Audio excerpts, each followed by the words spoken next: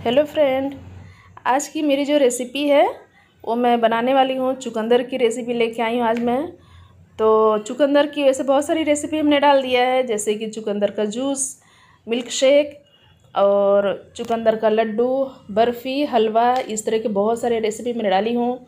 और आज मेरी जो रेसिपी है, वो है चुकंदर का पराठा।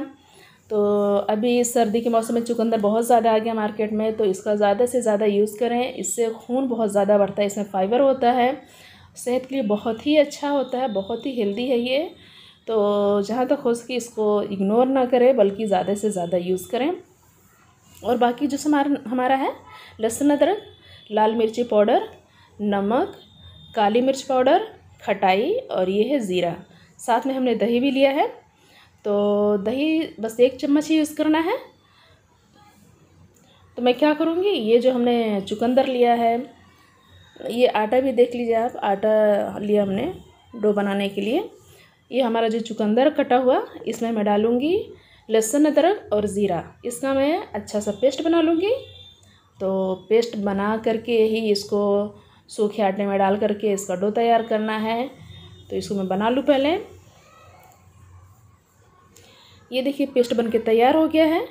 इसको मैं आटे के अंदर डाल के अच्छा सा सॉफ्ट डो बनाऊँगी। और रेसिपी ये जो है, ये तरह तरह से चुकंदर का खाना है तो कभी रोटी, कभी पराठा बना के, कभी जूस बना के इस तरह से यूज़ करें। ये दही है।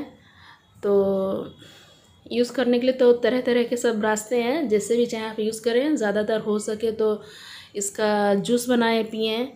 तो ये ख़ास करके बच्चों के लिए है कि बच्चे जैसे कि चुकंदर खाना पसंद नहीं करते हैं तो इस तरह से उन्हें पराठे के अंदर डाल करके पराठा बना के दें, जो कि उनके लिए बहुत ही अच्छा है। इसमें फाइबर होती है, आयरन होता है। इसको मैं रखूँगी दस मिनट के लिए रेस्ट करने के लिए। ये देखिए, दस मिनट हो गया, दस से पंद्रह मिनट, बीस मिनट भी आप रख सकते हैं। अब थोड़ा सा तेल लगा के हाथ में इसको मैं अच्छे से मसल लूँगी। दो चार पंच मारने के बाद ये और भी ज़्यादा अच्छा एकदम सॉफ्ट हो जाएगा। तो बिल्कुल ये पराठा बनने के लिए समझिए तैयार है। तो जब भी आपका जी चाहे तो इसी तरीके से आप पराठा बनाएँ, खाएँ बच्चों को भी खिलाएँ।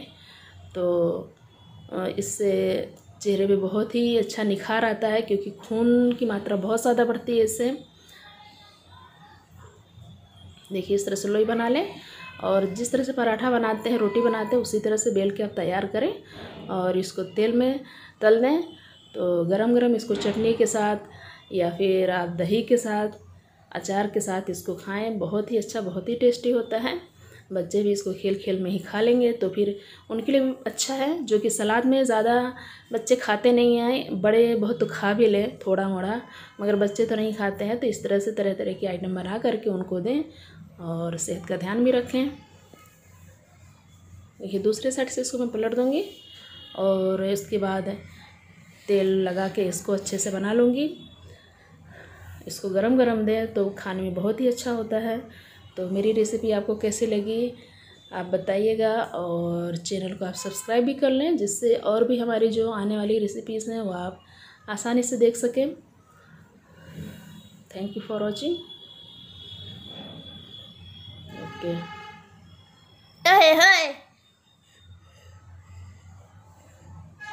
बन के तैयार हो गया है। इसी तरह से सब ऐसे बना लेना है। कितना अच्छा दिख रहा है।